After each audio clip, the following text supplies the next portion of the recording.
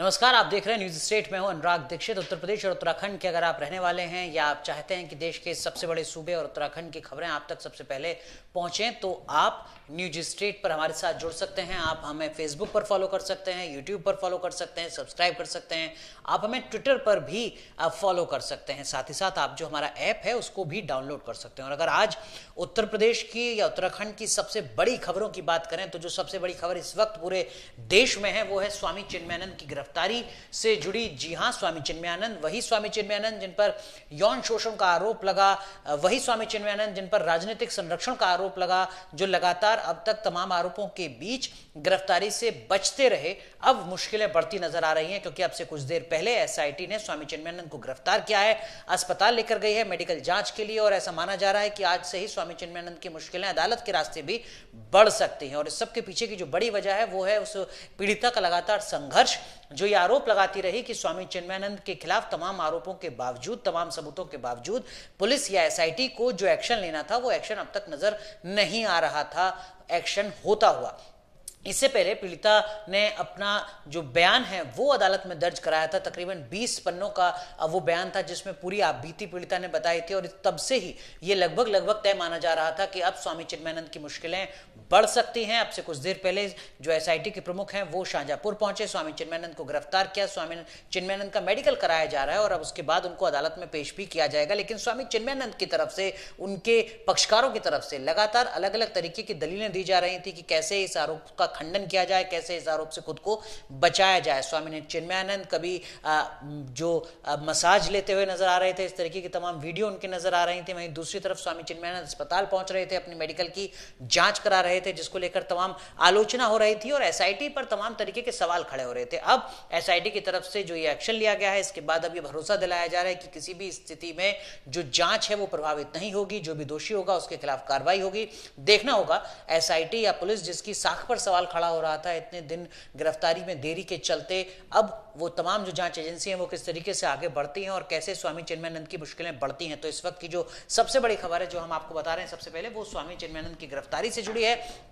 वहीं दूसरी तरफ़, एक और खबर जो राष्ट्रीय स्तर पर है, वो वित्त मंत्री के ऐलान से जुड़ी है। जी हाँ जीएसटी काउंसिल की आज बैठक गोवा में हो रही है, जहाँ पर वित्त मंत्री निर्मला सीतारमन ने कई बड़े फैसले लिए हैं, खासकर कॉरपोरेट टैक्स में जो रियायत है, जो छूट है, वो यहाँ पर देने का ऐलान किया गया है, और जिसका सीधा असर इस वक्त शेयर बाज़ार में देखने को मिल रहा है। आठ सौ अंकों का बड़ा फेरबदल यहाँ पर शेयर मार्केट में नज़र आ रहा है, और इस जीएसटी काउंसिल की बैठक में लगभग लगभग ये तय माना जा रहा था कि कुछ बड़े फैसले लिए जा सकते सकते हैं वित्त मंत्री के द्वारा। हालाँकि इससे पहले भी जो लोन मेला है 400 जिलों में, वो आयोजित किया जाएगा। इस तरीके का ऐलान वित्त मंत्रालय ने किया है। तो लगातार वित्त मंत्री वित्त मंत्रालय सक्रिय है कि किस तरीके से जो तमाम मंदी की बातें की जा रही हैं, उनसे निपटा जा सकता है। जो तमाम चुनौतियाँ सामने आ रही हैं अर्थव्यवस्था के, उनको कैसे एड्रेस किया जा सकता है? और उसी दिशा में एक फैसला आपसे कुछ देर पहले लिया गया, कॉर्पोरेट टैक्स में राहत देने के लिहाज से, जो फैसला हुआ जीएसटी काउंसिल की बैठक में। तो ये एक बड़ी राष्ट्रीय खबर है। अगर अंतर्राष्ट्रीय खबर का भी ज़िक्र करें तो प्रधानमंत्री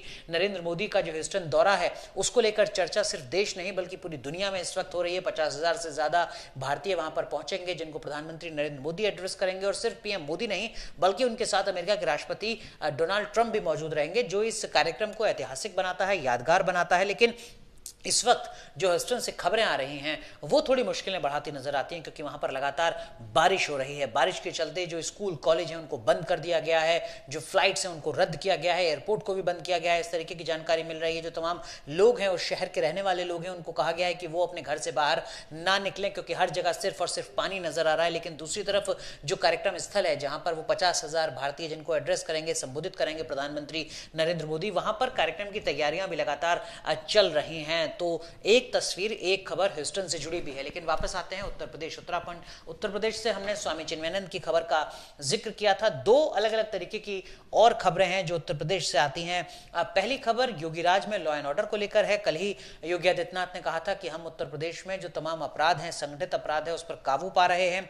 आज जो खबर आ रही है, उसके मुताबिक उत्तर प्रदेश में जो ऑपरेशन क्लीन है उसका असर लगातार देखा जा रहा है। खासकर गौतम बुद्ध नगर में नोएडा पुलिस ने 25-25 हज़ार के दो इनामी जो बदमाश हैं, उनको गिरफ़्तार किया है, उनको अपने हत्ते लिया है, जिन पर 25-25 हज़ार का नामी इनाम था उन दोनों बदमाशों पर। तो जो ऑपरेशन क्लीन है उत्तर प्रदेश में, वो लगातार जारी है। योगी आदित्यनाथ का ये दावा कि वो अपराध को पूरी तरीके से खत्म करेंगे, उत्तर प्रदेश में वो कहीं ना कहीं नज़र आता दिखता है, खासकर सड़क पर। लेकिन एक थोड़ी अलग तरीके की खबर है, और वो है मोटर व्हीकल एक्ट से जुड़ी हुई। आप सब जानते हैं, एक तारीख से मोटर व्हीकल एक्ट, जो नया मोटर व्हीकल एक्ट है, संशोधित कानून है, वो लागू हो चुका है, जिसमें भारी जुर्माने का प्रावधान है।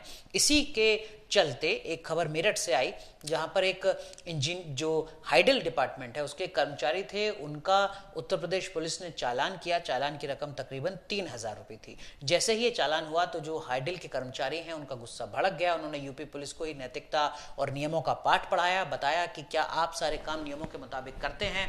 यूपी पुलिस ने उनकी बात को संभवतः गंभीरता से नहीं लिया होगा, लेकिन जो हाइडल के कर्मचारी हैं, वो अपने चालान से इस कदर खफा हुए कि उन्होंने पता किया कि इस पुलिस स्टेशन में, इस चौकी में, इस कोतवाली में कुल कितना बिजली का बिल बकाया है? लगभग सत्ताईस हज़ार रुपए का बिजली का बिल बकाया था।